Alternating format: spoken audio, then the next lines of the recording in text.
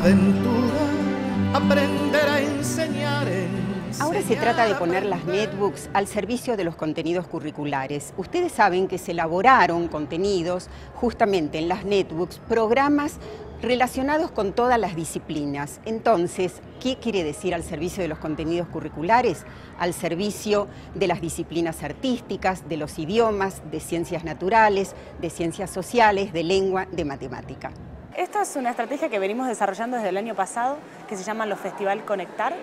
Eh, se trata de una experiencia donde ponemos que los chicos se pongan a producir contenido y que se diviertan en el mismo proceso. Eh, no se trata ni de clases formales ni de un curso tradicional, sino que la idea es que ellos puedan experimentar a partir de distintas estrategias que proponemos, como eh, la producción de una radio digital, de un canal de televisión, eh, la producción de un videoclip, de todos desarrollos multimedia. Y a partir de eso trabajamos con ellos distintos intereses. Los hacemos producir un guion, filmarlo, ellos actúan. Lo que, van, lo que tratamos es que los chicos se enganchen con el uso de la tecnología desde otro lugar, ¿no? no desde el lugar simplemente de la comunicación, sino también del lugar de la producción de contenido, que es lo que nos interesa puntualmente con esto, ¿no? tratar de que cada vez más chicos empiecen a producir y encuentren el uso de la tecnología muchos más, eh, una herramienta mucho más potenciadora. Bueno, en realidad nosotros eh, venimos registrando experiencias hace bastante y en Jujuy tenemos algunos casos de las escuelas que están en las altas montañas, en donde bueno, eh, son las escuelas de, alternancia, donde en realidad los, los, docentes suben hasta la montaña, dan clases, dejan las clases ahí. Bueno, con el uso de Netbook eso se potenció. Esas experiencias son maravillosas porque ahí es donde decís, bueno, la tecnología, el programa Conectar Igualdad y el Estado llega a lugares donde antes era casi impensable poder modificar ese tipo de prácticas. En Jujuy puntualmente tenemos experiencias súper ricas que tienen que ver con la creación colectiva. Hay muchos ejemplos de docentes que trabajan en forma conjunta para producir un contenido, una propuesta con alumnos. Eh, también muchos alumnos que, bueno, que están produciendo cosas maravillosas que tienen que ver con las cuestiones regionales, como es bueno, una fábrica de dulces, eh, algunas cuestiones que tienen que ver con los cactus o con, la región geográfica de, particular de Jujuy. Son experiencias que realmente lo que estuvimos viendo a lo largo de, de estas dos jornadas eh, nos dejan a nosotros como un, calorcito en el pecho, como decir, lo que estamos haciendo eh, está dejando algo más que no es solamente la tecnología, sino es una experiencia. Bueno, los docentes venimos trabajando bastante y bueno, como pudiste ver en estos días, están bastante ávidos de este tipo de propuestas, cosa que antes no no sucedía o por lo menos nosotros teníamos como un poco de miedo de decir, bueno, los docentes se van a aprender con las capacitaciones, con los talleres y la verdad que sí, se, prenden, están, hacen cola para entrar a un taller de física eh, y TIC o para entrar uno de química y TIC. Ayer veíamos colas y colas de docentes que estaban esperando para ingresar a un aula para recibir una capacitación. Eso la verdad que, nos marca un rumbo a seguir. Tenemos que brindar cada vez más herramientas y llegar cada vez con mejores propuestas a eso. Y por otro lado, lo que encontramos es que también se acercaron de una manera distinta a los chicos, ¿no? O sea, el docente no, no tiene esa postura de, que tiene el miedo, sino al contrario, que está tratando de transformar su práctica docente y convertir eh, a los chicos en, actores en este sistema educativo. La verdad que, es muy interesante lo que vimos. Es cierto que algunos docentes y algunos directivos tienen como una especie como de miedo de acercarse a la tecnología, pero tiene que ver con un desconocimiento. Parte de estas acciones también, lo que, lo que tienen que ver estos seminarios o las acciones de sensibilización o los festivales, también tienen que ver con eso objetivo, con acercar la tecnología de una forma muy natural, muy normal, decirle, bueno, la tecnología está ahí, es una herramienta más, la tenés que utilizar para potenciar tus prácticas.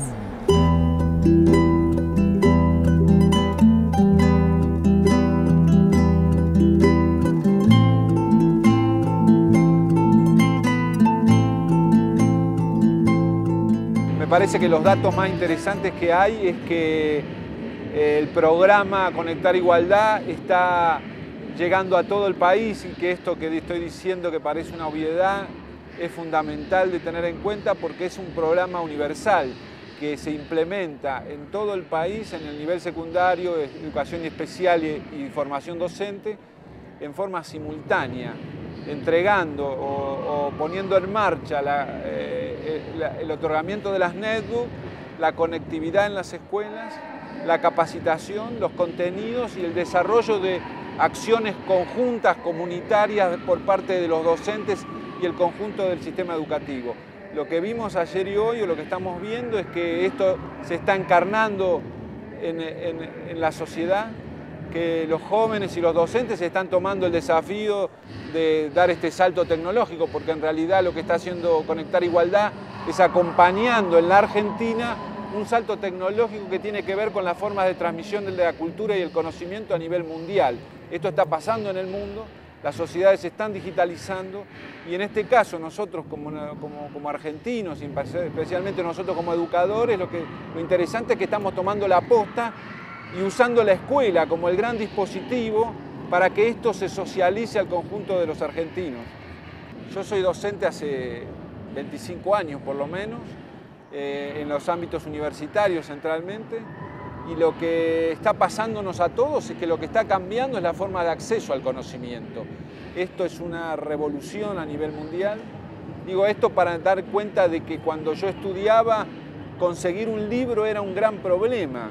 Eh, no era fácil acceder a la literatura, por ejemplo, si uno quería leer a Dostoyevsky o quería leer a Sarmiento o quería leer, eh, digamos, en realidad esa información, digamos, solo era accesible fundamentalmente a los sectores medios casi imposible para los sectores populares acceder de primera mano a un texto de Dostoyevsky o a un texto de Sarmiento.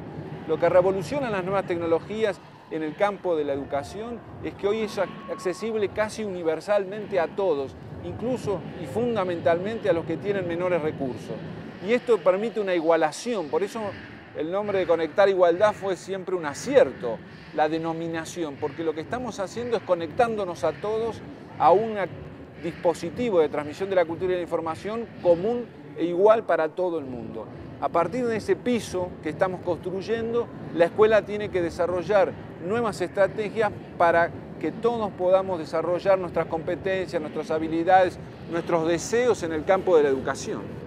Este Congreso de Conectar Igualdad permite que los docentes, los directivos, den a conocer, socialicen las experiencias que ya llevaron a cabo hasta ahora.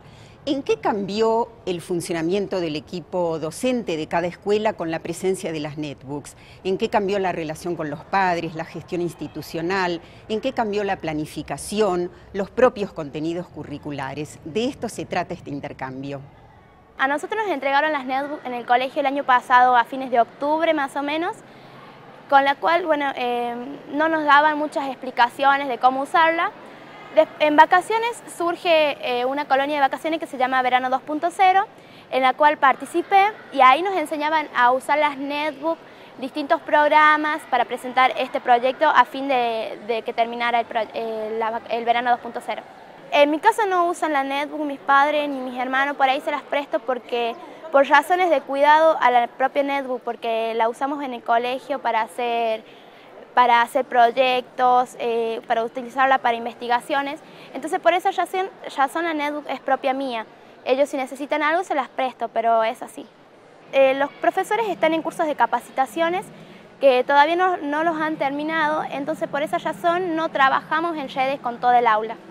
Yo la verdad que, que estoy muy contenta, este es, es un desafío muy grande que para todo el equipo, puntualmente todos los que estamos construyendo Conectar Igualdad, para todo el equipo del portal Educar, para nosotros fue un, salto muy grande, tanto en las propuestas de contenido como en la formación. Y la verdad que estamos cada vez, estamos tratando de no perder el rumbo, de estar todo el tiempo acompañando a los docentes, a los padres y a los chicos en este desafío. Para nosotros lo principal es eso, ¿no? es estar todo el tiempo escuchando y dialogando con ellos para poder, eh, poder bueno, alcanzar las mejores herramientas, ¿no? Pero la verdad que esto es un, es un orgullo, este programa, y, y estamos muy contentos. Canción para cantar, unidos haciendo frente a la intolerancia ciega de algunos pocos